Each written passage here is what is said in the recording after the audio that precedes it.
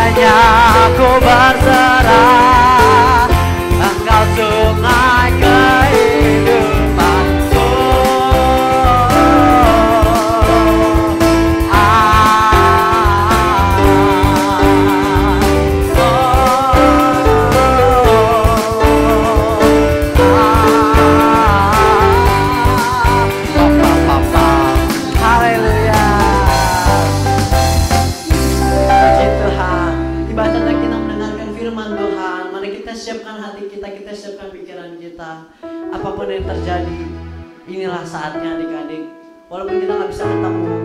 Tapi percayalah Tuhan Yesus ada di hati semua.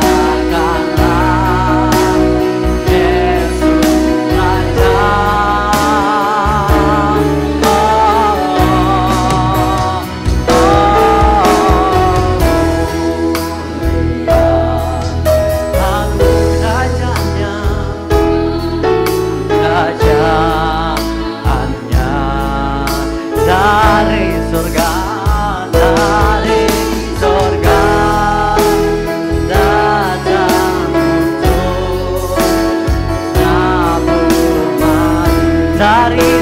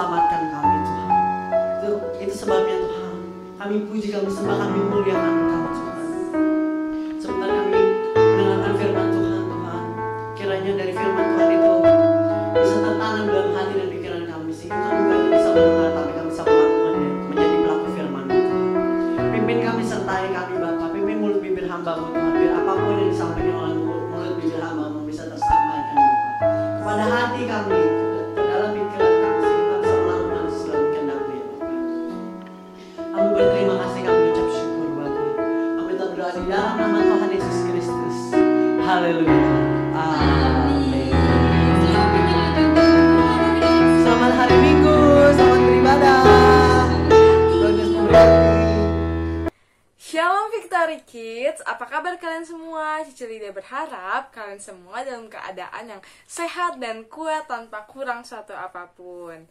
Nah, gimana? Kalian kan udah satu minggu ini menghadapi ujian sekolah. Apakah bisa ujiannya? Tulis di komentar di bawah ya.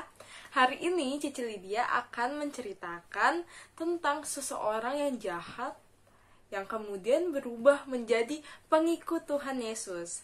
Namanya Paulus. Dulu, sebelum jadi Paulus, orang ini bernama Saulus.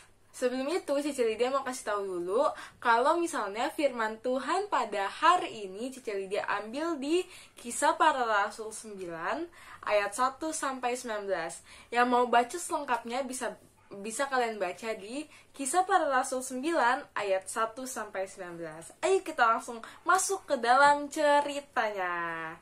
Jadi, waktu itu Tuhan Yesus udah naik ke surga dan murid-murid Tuhan Yesus sudah pergi kembali ke ke kota Yerusalem. Nah, di masa itu ada seseorang yang bernama Saulus. Dia ini gak percaya kepada Tuhan Yesus. Bahkan Saulus itu mencari-mencari dan menganiaya, menghukum orang-orang yang percaya kepada Tuhan Yesus. Baik perempuan maupun laki-laki. Semua orang yang dia ketemuin yang percaya kepada Tuhan Yesus dibunuh, dihukum. Dan Saulus itu sama sekali gak mau percaya sama Tuhan Yesus. Suatu hari, Saulus lagi berjalan mau ke kota Damsyik. Lalu tiba-tiba ada suatu terang yang bersinar banget, yang putih banget sampai Saulus gak bisa ngeliat apa-apa. Bahkan Saulus gak bisa ngeliat apa sih yang ada di muka dia, yang ada di hadapan dia ini. Sampai Saulus jatuh ke tanah. Nah, tiba-tiba ada suara yang ngomong, Saulus, Saulus, mengapakah engkau menganiaya menganiaya aku? Terus Saulus bingung. Siapa ya cahaya itu ya? Kok cahaya itu bisa ngomong ya? Akhirnya Saulus bertanya, "Siapakah engkau, Tuhan?" Lalu cahaya itu berkata, "Akulah Yesus yang kau aniaya itu." Jadi pada saat itu Saulus bertemu dengan Tuhan Yesus yang adalah cahaya itu. Jadi Tuhan Yesus adalah cahaya itu yang ngobrol sama Saulus. Lalu Tuhan Yesus bilang kayak gini kepada Saulus, Bangunlah dan pergilah ke dalam kota. Di sana akan kuberitahu apa yang harus kau perbuat. Tuhan Yesus ngomong kayak gitu ke Saulus. Nah, waktu itu, waktu Saulus mau bangun, teman-temannya sama Saulus bingung. Mereka mereka memang mendengar uh, Tuhan Yesus ngomong, tetapi mereka nggak bisa melihat Tuhan Yesus. Mereka hanya melihat cahaya. Terus waktu Saulus bangun, teman-temannya dan Saulus kaget karena Saulus tiba-tiba menjadi buta. Saulus tidak bisa melihat apa pun di sekelilingnya. Lalu teman-temannya Saulus menuntun Saulus untuk masuk ke dalam kota Damsyik. Nah, di dalam kota Damsyik itu ada seorang pelayan Tuhan, ada seorang hamba Tuhan yang bernama Ananias. Nah, Ananias ini sudah disuruh oleh Tuhan untuk mendoakan Saulus ini karena Tuhan Yesus bilang kepada Ananias bahwa Saulus adalah alat pilihan Tuhan untuk memberkati sekitarnya. Jadi, ketika Ananias bertemu dengan Saulus, Ananias berkata, "Saulus, saudaraku, Tuhan Yesus yang bertemu engkau di jalan yang engkau lalui itu meminta kepadaku untuk berdoa kepadamu supaya engkau dapat melihat lagi dan supaya kamu penuh dengan Roh Kudus." Oleh karena itu, Saulus didoakan oleh Ananias. Dan ketika selesai dido- didoakan, mata Saulus yang tadinya buta tiba-tiba bisa melihat lagi. Saulus bisa melihat sekelilingnya dan Saulus tidak buta lagi karena tiba-tiba ada selaput yang jatuh dari matanya yang membuat Saulus bisa melihat lagi. Kemudian Ananias pun membaptis Saulus sehingga Saulus pun bisa menjadi murid Tuhan Yesus. Dan Saulus juga diberi makan supaya kekuatannya kembali seperti semula. Setelah Saulus makan dan Saulus dibaptis, Saulus menjadi orang yang baru dan Saulus mulai belajar tentang kebenaran firman Tuhan. Saulus berhenti untuk mengancam dan membunuh murid-murid Tuhan Yesus. Saulus berbicara bahkan dengan murid-murid Tuhan Yesus dan Saulus pun berubah namanya menjadi Paulus. Paulus ini dikenal oleh orang-orang di sekitarnya sebagai orang yang positif, orang-orang yang membawa orang yang membawa dampak baik kepada sekitarnya. Karena Saulus terus memberitakan firman Tuhan dan terus membaca firman Tuhan supaya orang-orang di sekitarnya juga ikut diselamatkan. Nah, gimana adik-adik? Kalian mau gak menjadi seperti Paulus? Paulus itu mau bertobat dan mau mengikut Tuhan Yesus. Karena Tuhan Yesus juru selamat kita semua, Cici Lydia yakin, Cici Lydia percaya bukan cuma Paulus doang yang bisa diselamatin oleh Tuhan Yesus. Tetapi Cici Lydia, adik-adik semuanya yang menonton, Cici Lydia yakin, Cici Lydia percaya bahwa Tuhan Yesus adalah Tuhan yang sama, Tuhan yang bisa menjadi juru selamat bagi kita semua. Yeay, tepuk tangan dulu semuanya. Nah, untuk ayat hafalan pada pagi hari ini, Cici Lydia akan kasih untuk adik-adik yang kelas kecil dulu ya. Untuk adik-adik kelas kecil yang berusia 3 sampai 7 tahun, ayat hafalannya ada di Kisah Para Rasul 16 ayat 31a. Percayalah kepada Tuhan Yesus Kristus. Sekali lagi ya. Kisah Para Rasul 16 ayat 31a. Percayalah kepada Tuhan Yesus Kristus. Dan untuk adik-adik yang berusia 8 sampai dengan 12 tahun, firman Tuhannya ada di Kisah Para Rasul 16 ayat 31. Percayalah kepada Tuhan Yesus Kristus dan engkau akan selamat. Sekali lagi ya, Kisah Para Rasul 16 ayat 31. Percayalah kepada Tuhan Yesus Kristus dan engkau akan selamat. Kirim ayat hafalan kalian ke nomor Cicili yang ada di bawah ini. Ikuti program-program Victory Kids karena di bulan Desember ini, di bulan Natal ini akan akan ada banyak acara-acara yang menanti adik adik-adik semua. Tungguin terus ya. Nah, sekarang kita akan menutup firman Tuhan pada pagi hari ini. Lipat tangannya, tutup matanya, Cici Lydia akan berdoa bagi kita semua. Tuhan Yesus, terima kasih Tuhan atas berkat penyertaanmu kepada kami semua sehingga adik-adik Victory Kids dan Cici Lydia bisa melaksanakan ibadah Victory Kids ini dengan baik. Tuhan Yesus, kami yakin kami percaya Engkau adalah Allah yang sama dengan pada saat Paulus. Engkau adalah Allah yang sanggup untuk menyelamatkan kami semua. Tuhan Yesus, selamatkanlah kami semua sehingga kami semua bisa memberitakan firman-Mu sampai ke mana-mana. Terima kasih Tuhan Yesus, kami sudah berdoa dan mengucap syukur. Dalam nama Tuhan Yesus, haleluya.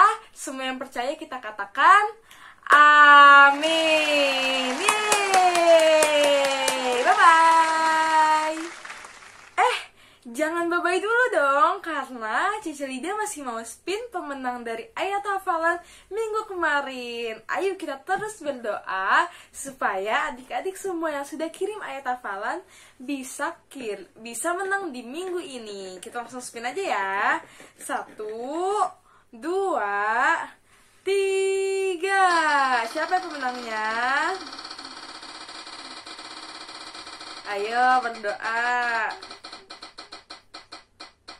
Rafael Devlins, Timothy, Chloe, Lovely, Michael.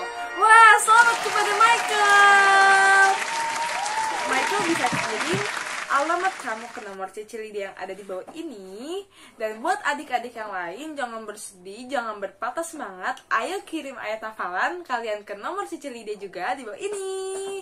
Dan ikuti terus program-program Victory Kids ya. Jangan lupa juga buat share ke teman-teman kalian semua supaya makin banyak yang nonton Victory Kids dan nama Tuhan Yesus semakin dipuji dipermuliakan. Bye bye. Tuhan Yesus memberkati. Selamat hari Minggu.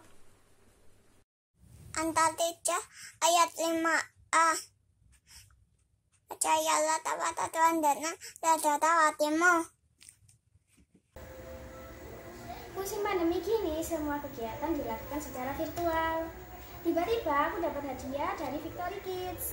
Terima kasih Victory Kids. Tuhan Yesus memberkati. Dadah.